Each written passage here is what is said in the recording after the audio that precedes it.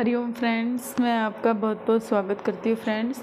तो इस तरह की जो है ड्रेस मैंने आपको लास्ट वीडियो में बनानी बताई है। इस वीडियो का लिंक मैं आपको डिस्क्रिप्शन बॉक्स में दे दूँगी, आप वह चेक कर सकते हैं। बारह से लेकर चौदह नंबर के लिए ये लड्डू गोपाल जी की मैंने ड्रेस बनाई है।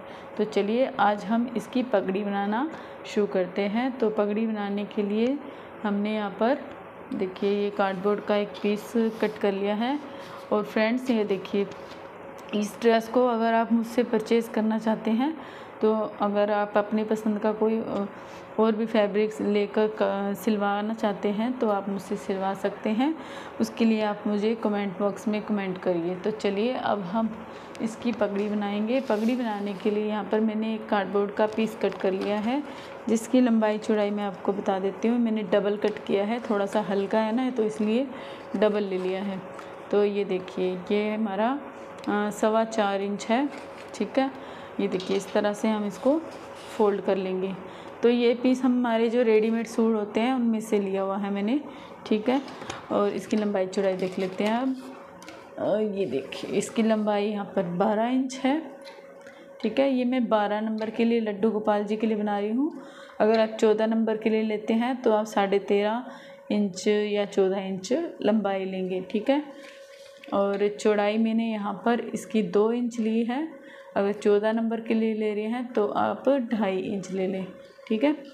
और अब इस तरह से हमने एक पीस कट करने के बाद यहाँ पर ये देखिए, बारह इंच का लिया और यहाँ पर सिक्स इंच पर हम एक मार्क लगा लेंगे सेंटर में और इस तरह से एक लाइन ड्रॉ कर लेंगे, ठीक है? अब हमने क्या करना है, ये देखिए, यहाँ इस साइड से हमको डेढ़ इंच रख लेना है। ये देखिए इस तरह से। यहाँ पर हम डेढ़ इंच पर निशान लगा लेंगे, ठीक है? इस तरह से यहाँ पर भी हम डेढ़ इंच पर ही निशान लगाएँगे। तो इस तरह से निशान लगाने के बाद अब हमने क्या करना है, ये देखिए, ये यहाँ से इस तरह से हम ले जाएँगे, ठीक है? और इस तरह से कट कर लेंगे। सीधा यहाँ से हमने सीधा करना है और यहाँ से बस हल्की सी हमने यहाँ डेढ़ इंच पर जाकर इस शेप को इस तरह से ड्रॉ कर लेना है। देखिए, साइडों साइडों से, ठीक है? और बीच सेंटर से हमने इस तरह से तिरछा निशान लगाना है, जिससे कि हमने कटिंग कर लेनी है। ये देखिए, ठीक है? ये देखिए इंची टेप से दिखाती हूँ मैं आपको। यहाँ पर हाफ़ इंच किया है, थोड़ा सा एक्स्ट्रा है। ये देखिए वन इंच यहाँ पर है। वन इंच ही हमने इधर की ओर ऐसे तिरछा निशान लगा लेना है और इसको अब हमने यहाँ से कट कर लेना है और ये वाली साइड को भी हम कट कर लेंगे। तो ये देखिए फ्रेंड्स, इस तरह से मैंने इसकी कटिंग कर ली है और अब हमने इसको कवर करना है। तो इस तरह से आप एक कपड़ा ले लें अपनी ड्रेस से मैचिंग करता हुआ। तो इस तरह से हम इसे रखेंगे और इसको हम इस तरह से फोल्ड कर लेंगे, ठीक है? इतना चौड़ा आपको कपड़ा लेना है जितनी आपकी ये इतना एक इंच यहाँ पर एक्स्ट्रा आए, ठीक है? तो इस तरह से हम तो ये देखिए, इस तरह से हमने कपड़े को फोल्ड किया और इस तरह से ऊपर से हमें थोड़ा टाइट सा फोल्ड कर लेना है, अच्छी तरह से, ठीक है? अच्छी तरह से कस के आप पकड़ लें और यहाँ पर हमने सिलाई लगानी है। चलिए, मैं आपको सिलाई लगा कर दिखाती हूँ। तो ये देखिए, हमारा कितना कितना एक्स्ट्रा आ रहा है, मैं आपको दिखा देती हूँ। लगभग आपको छः इंच चौड़ा कपड़ा कट कर लेना है, ठीक है? इस तरह से अब हमने, देखिए, सिलाई लगा ली इस पर। ठीक है, अब हम यहाँ पर इस सेंटर में एक कट लगाएँगे ऐसे। ठीक है? और अब हमने इसको ऊपर की तरफ़ कर कर एक सिलाई यहाँ पर लगानी है और एक सिलाई हमने इस तरफ़ लगानी है। तो ये देखिए फ्रेंड्स, इस तरह से हमने एक सिलाई लगा ली। अब हमने जो ये एक्स्ट्रा कपड़ा हमारा आएगा, उसे हमने कट कर लेना है।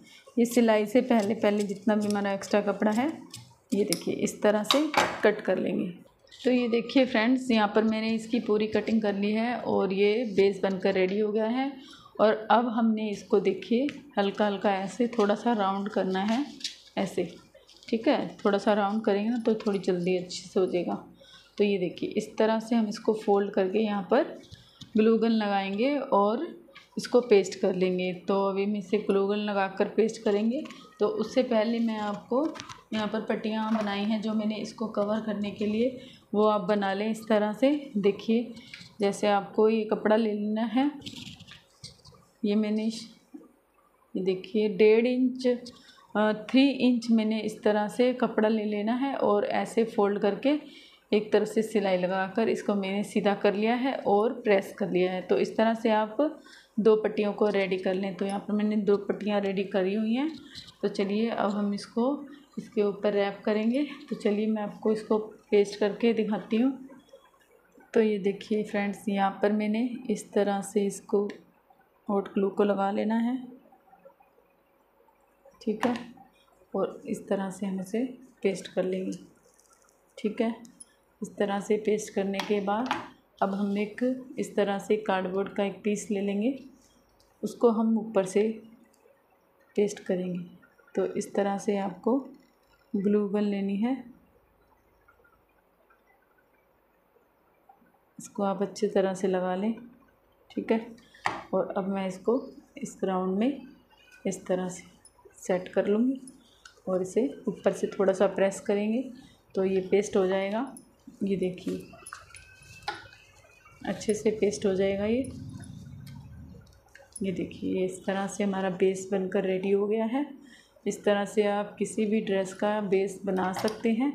तो चलिए, अब मैं इसको आपको रैप करना दिखाती हूँ और जो एक्स्ट्रा हमारा होगा ना इस तरह से, जो हम एक्स्ट्रा उससे हम कट कर लेंगे। ऊपर से इसको पूरा राउंड कर लेंगे। ये देखिए, यहाँ से, इसे मैं राउंड कर लेती हूँ। ठीक है?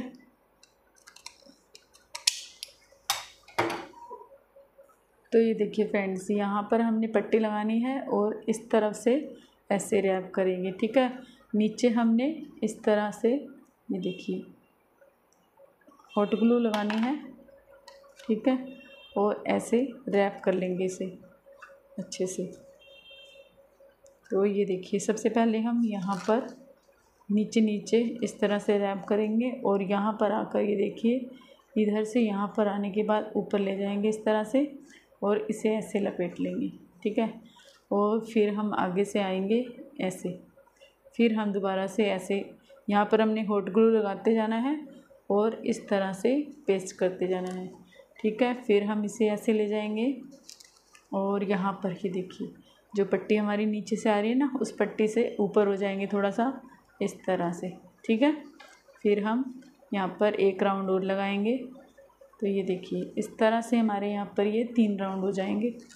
ठीक है ये देखिए, अब हमने यहाँ नहीं जाना, अब अब इधर की ओर जाएँगे, ठीक है?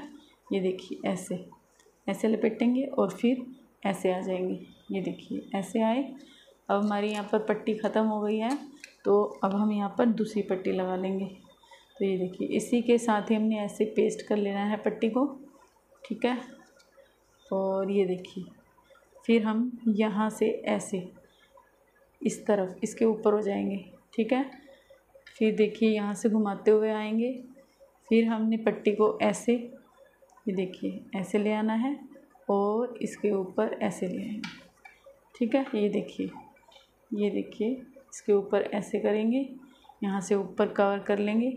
फिर हम दोबारा से नीचे से आएँगे और इसे फिर ऐसे ही कवर कर लेंगे और यहाँ पर, ये देखिए ये हमारी पगड़ी का बेस बनकर इस तरह से रेडी हो जाएगा। तो चलिए मैं इसे रेडी कर लेती हूँ, फिर डेकोरेशन करेंगे। तो ये देखिए फ्रेंड्स सिंपल बेस बनकर रेडी हो गया है और अब हमने यहाँ पर लेस लगा लेनी है। तो यहाँ पर मैं लेस को थोड़ा सीधी तरफ़ से पकड़ लेती हूँ।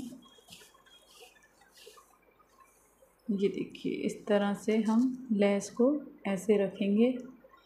ठीक है? ये देखिए, इस तरह से पूरा गोल घुमाते हुए इस तरह से आएँगे। और ये देखिए, ऐसे कर कर अब हम इसको ऐसे, यहाँ पर ऐसे करते हुए इसे कवर कर लेंगे। ये देखिए, ऐसे कर कर हम इसको पेस्ट कर लेते हैं। तो चलिए पेस्ट करके दिखाती हूँ। तो ये देखिए, इस तरह से ड्रेस की सिंपल पगड़ी बनकर रेडी हो गई है। अगर आप चाहें तो यहाँ पर कलंगी भी बना कर लगा सकते हैं बट मैं इसे ऐसे ही रख रही हूँ। Thank you for watching Radhe Krishna मिलेंगे फिर नेक्स्ट वीडियो में राधे राधे